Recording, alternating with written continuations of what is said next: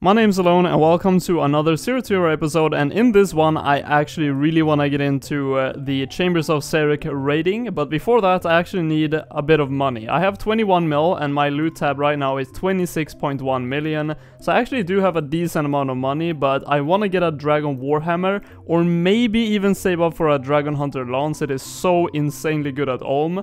But regardless I do want to get more money and I'm actually going to farm Zulrah for quite a while. I've actually already done some kills. I am on 278 kill counts, and uh, later on I will show all the loot that I've got when I'm finished with Zulrah. But um, yeah, first thing I'm going to do is I'm actually going to sell some of these things and buy an imbued heart, which I will later on probably sell when I'm going to do raiding, but uh, it will speed up the Zulrah killing. Okay, sold some stuff and I got the imbued heart for 29.2 million. Okay, so here we go, this is going to be kill number 300, and uh, this video so far, that means I've done 49 kills. Let's uh, look at the total loot for that and I'm not nearly done yet, so I'm going to do quite a lot of kills. How fast was that? 131. Yeah, imbued heart is actually pretty insane, but yeah, 49 kills, 6.3 mil, so that's even without a unique. Zulrah is just insane. 98 ranged, meanwhile doing Zulrah, so uh, only one more level and I get another 99. It's the same with strength, and uh, well, I'm going to be max combat very soon, I'm pretty sure. I mean, I'm going to be done with attack, defense, and strength and ranged and then magic probably very soon. And then after that, all I have to do really is uh, just buy a lot of bones with money and get 99 prayer. Okay, here we go. This is going to be kill number 400. So I've done a lot of Zulrah now, and uh, okay, I need to get some uh, space in my inventory. Let's actually have a quick look at the total loot so far and the amount of kills that I've done. I have done a total of 149 kills for 18.8 mil, still no unique, and I am going to keep grinding for it. Hopefully I get one soon. Wait, uncut ruby. Let me actually have a quick look at the drop rate of this. I'm going to scroll down here on the side, on the internet. That is a 1 in 1433 drop rate. Nice. Oh my god, finally, Magic Fang, 5 mil drop, that actually took a lot of kills. I'm on 456, which means if I go here, I have done 205 Zulrah kills. I've got scales worth more than the Fang, actually double the amount, so 30 mil now, and uh, yeah, I'm probably going to do up to 500 kills. I still have 44 kills more to do. If I get a second unique in that, that will be amazing. Oh my god, with only 7 more kills I get a Tanzanite Fang. Uh, I actually only miss the Onyx now, the Mutagens and the Pet for every single drop I think, which is just insane. Okay, so here we go. This is the last Zulrah kill, what we'll get for the drop. Nothing great, but 500 kill count looks very nice, and also it actually says I've only done 249 kills on the counter, but I've actually done 250. I started with 500, so one of them just didn't count. But look at that, 40.1 million almost. That's pretty close to a Dragon Warhammer from 250 Zulrah kills. So it is time to sell this loot tab and also I think I'm going to be selling of course my imbued heart as I said earlier. Has it gone up in price by the way? I bought it for 29 mil. Oh, it's gone down in price. That's unfortunate. But anyways, I have some runes to sell as well, like these Chaos runes. Uh, the Death runes I'm probably going to keep, but uh, I do have the Master one, which is actually worth a lot, like 6.6 mil. I'm probably going to sell that because I don't need it right now for the raiding, and I do want to focus on raiding for quite a while. And I can sell these Chinchompas and all that as well, so I'm going to sell quite a lot of items, and I'll get back to you guys with the current cash stack I will be able to buy raid items for. I am actually surprised at how low the imbued heart sold for. 27 mil, let's see what it actually sold for. 27.3, it sold for like 1.1 million under the actual price. I don't know why, but uh, that dipped really quickly. I only used it for like two days and it dropped like 2 million. But anyways, let's collect all of the big ones and... Oh, actually, I didn't sell the Magic Fang. I left it in the bank. Where is it? Oh, there we go. Now I have to sell that as well. Let's sell that real quick and uh, see the total cash pile. Nine, is that 98 million or 96 million? I'm not sure. 98 mil I have to buy stuff for. So the first thing I'm going to buy is a Dragon Warhammer. Let's get that. It is currently, wow, that's a lot of money right now. 51.3 mil, so it's actually a lot under the average price. That's kind of scary, it might dip randomly. Okay, so here we are at the Chambers of Xeric, and this is my setup, this is what I'm going to be using, and the big things that I bought with the money is the Zamorakian Hasta, because I don't have the money for a Dragon Hunter lance, it's 93 mil, so I would have to spend all the money on that, I don't really feel like that's worth it. And I bought a Bandos chestplate, because you want to use it with an Ahrim's robe skirts, because of the switches. So I have the magic switch like this, this is my magic setup pretty much, and uh, then I have the dragon pickaxe, which I just used before, I never sold. Have the dragon axe, I also of course bought the dragon warhammer, and at last an elder maul. I can't actually equip it right now because I have full inventory, but that's pretty much all the things that I bought, and I bought the Elder Maul for Tekton, I think it is. Uh, I watched a guide, by the way, and this is pretty much the higher end but still a more affordable gear set for raiding. And I'm going to take the first raid extremely slow and the time might be like 2 hours or one and a half hour, I have no idea. I have an inkling of what to do because I did it on the Twisted League, but of course I died a lot of times with really bad gear there, and no, I don't want to talk to you. Uh, but yeah, let's see how my first raid will go with this setup. On my second scout, I already found a pretty good one. The first one being Mystics, then Apostle, and then Tekton. Tekton, of course, being a bit harder, but I have killed it once on the Twisted League, and then Muttadiles, which is easy, Guardians, and then Thieving. I've never done the Thieving one, but I'm pretty sure it's uh, fairly easy. But let's begin this.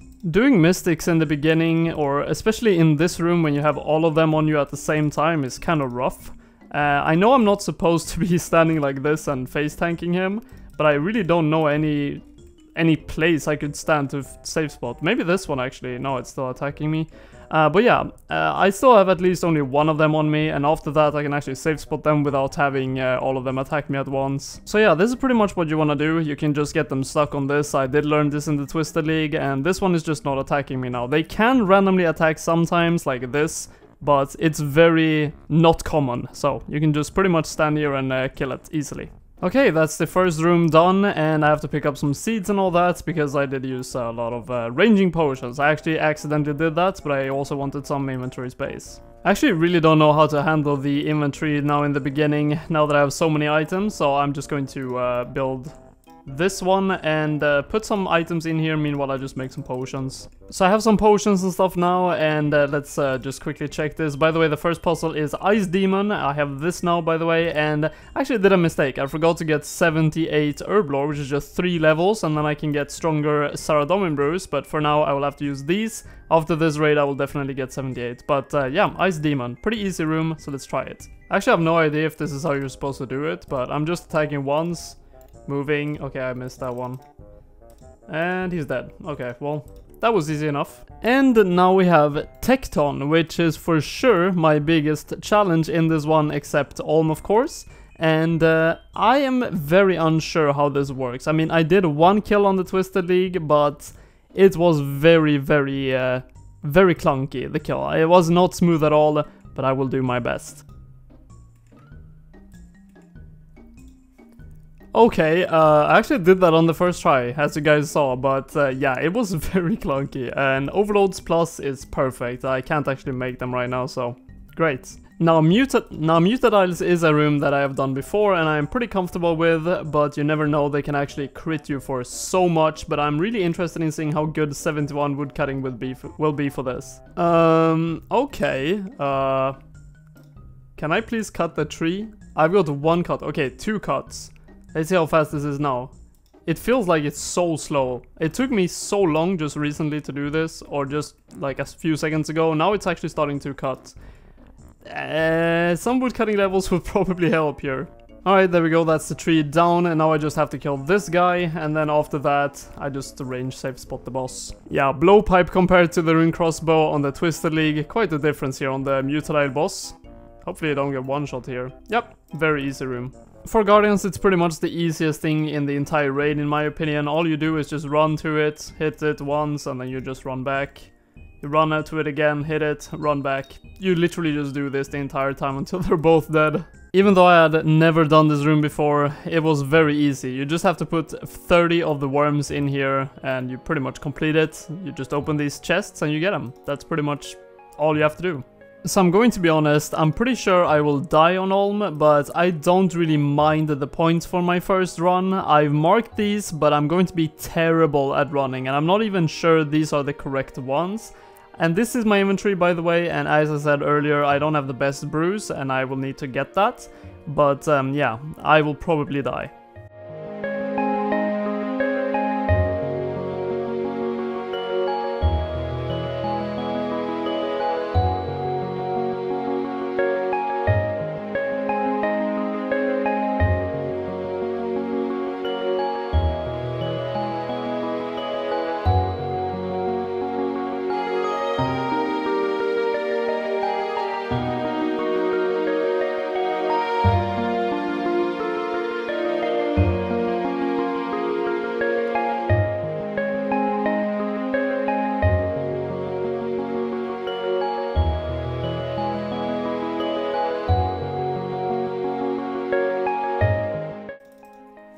Oh my god. okay, uh, of course no purple on that one. Uh, 12k points, and that took me 1 hour and 38 minutes.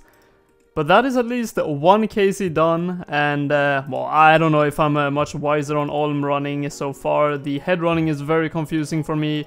Let's see what the first loot is going to be. Oh, I actually got the Ancient Tablet on the first one.